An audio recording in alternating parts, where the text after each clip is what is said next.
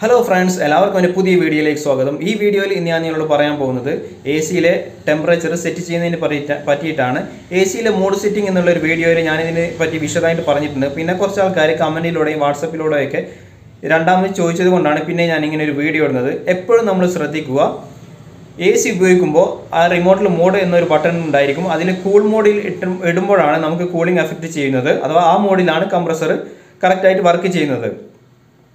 അപ്പോൾ നമ്മൾ എപ്പോഴും ടെമ്പറേച്ചർ സെറ്റ് ചെയ്യുമ്പോൾ അഥവാ ഒരു മിനിമം ടെമ്പറേച്ചർ സെറ്റ് ചെയ്ത് യൂസ് ചെയ്യാൻ ശ്രദ്ധിക്കുക. കാരണം നമ്മൾ എത്ര ഡിഗ്രി ടെമ്പറേച്ചർ കുറച്ച് ഉപയോഗിക്കുന്നു അതിനനുസരിച്ച് നമ്മളെ കൂടുതൽ സമയം നമ്മളെ കംപ്രസർ വർക്കാവും കംപ്രസർ കൂടുതൽ സമയം വർക്കാവുമ്പോൾ നമുക്ക് കറണ്ട് ബില്ലും കൂടുതലായിട്ട് വരും. അതുകൊണ്ട് തന്നെ നമ്മൾ എപ്പോഴും എ സി ടെമ്പറേച്ചർ സെറ്റ് ചെയ്യുമ്പോൾ ഇരുപത്തിനാലിന്റെയും ഇരുപത്തിരണ്ടിന്റെയും ഇടയിൽ ടെമ്പറേച്ചർ സെറ്റ് ചെയ്യാൻ ഉപയോഗിക്കുക. കാരണം എ സിയിലെ വേറൊരു മോഡൽ അതായത് നമ്മൾ റിമോട്ട് കംപ്ലയിന്റ് ആയാലും നമ്മൾ ഓട്ടോമാറ്റിക്കലി അഥവാ ഓട്ടോ സ്വിച്ച് എന്നൊരു സ്വിച്ച് ഉണ്ട് റിമോട്ടിൽ എ സിയിൽ ആ സ്വിച്ച് നമ്മൾ ഇട്ടാൽ എ സി ഓട്ടോമാറ്റിക്കായിട്ട് വർക്ക് ചെയ്യുന്നത് തന്നെ ഇരുപത്തിനാല് ഡിഗ്രി ടെമ്പറേച്ചറിലായിരിക്കും അഥവാ ഹ്യൂമൻ ബോഡി അഥവാ നമ്മുടെ മനുഷ്യ ശരീരത്തിന് കംഫർട്ടബിൾ ആയിട്ടുള്ള ടെമ്പറേച്ചർ ഇരുപത്തിനാല് ഡിഗ്രിയാണ്.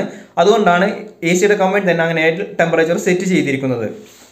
പിന്നെ ശ്രദ്ധിക്കേണ്ട ഒരു കാര്യം നമ്മുടെ നമ്മളിപ്പോൾ എ സി വാങ്ങുമ്പോൾ സ്റ്റാർ റേറ്റിംഗ് ഒക്കെ അതിന് ഓൾറെഡി ഉണ്ടായിരിക്കുമല്ലോ. അതുപോലെ തന്നെ നമ്മുടെ കേന്ദ്ര സർക്കാർ വെച്ചൊരു സ്റ്റിക്കർ ഉണ്ട്. ആ സ്റ്റിക്കറിൽ ഇരുപത്തിനാല് ഡിഗ്രി സെറ്റ് ചെയ്യാനാണ് കം നമ്മുടെ ഊർജ വകുപ്പ് പറയുന്നത്. കാരണം ഓരോ ഡിഗ്രി നമ്മൾ കൂട്ടി വെക്കുമ്പോഴും അത് ടെമ്പറേച്ചർ ഓരോ ഡിഗ്രി കൂട്ടി വെക്കുമ്പോഴും six percent electricity consumption consumption കുറയുന്നു എന്നാണ് അതിൽ പറയുന്നത്.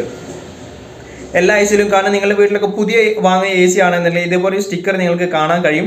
അതിലും പറയുന്നത് അതാണ് നമ്മൾ എത്ര ഡിഗ്രി ടെമ്പറേച്ചർ കൂട്ടുന്നു അതിനനുസരിച്ച് അഥവാ ആറ് പേഴ്സന്റ് നമ്മുടെ ഇലക്ട്രിസിറ്റി കൺസംഷൻ കുറയും എന്നാണ് പറയുന്നത്. അഥവാ എപ്പോഴും നമ്മൾ ശ്രദ്ധിക്കുക ഒരു കാരണവശാലും നമ്മൾ പതിനാറ് ഏറ്റവും ലാസ്റ്റ് ടെമ്പറേച്ചർ ഞാൻ സാധാ സ്പ്ലിറ്റ് എ സിക്കാണ് പറയുന്നത്. പാക്കേജ് എ സി അതുപോലത്തെ വലിയ വലിയ എ സികൾക്കല്ല കാരണം അതിനൊക്കെ ടെമ്പറേച്ചർ നമ്മൾ പത്തിന് താഴെ വരെ വെക്കാൻ ഉള്ള സെറ്റപ്പ് ഉണ്ട്. പാക്കേജിന് എ സി ഒക്കെ ആണെങ്കിൽ ഹണിവെല്ലിന്റെ റിമോട്ടിലൊക്കെ പത്ത് വരെ സെറ്റ് ചെയ്യാൻ തോന്നുന്നു.